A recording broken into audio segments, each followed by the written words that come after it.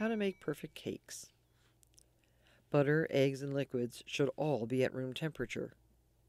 Creaming the butter and the sugar is an important step that gives the cake a fluffy texture as well as volume. Measure your dry ingredients in a dry measuring cup and liquid ingredients in a liquid measuring cup.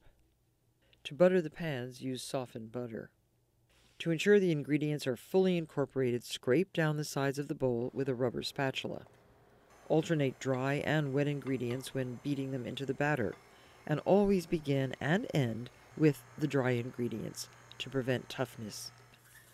For even baking, always rotate the pans inside the oven about halfway through the required time. Let your cakes cool for 15 minutes in the pan on a wire rack before unmolding. They are less likely to crack.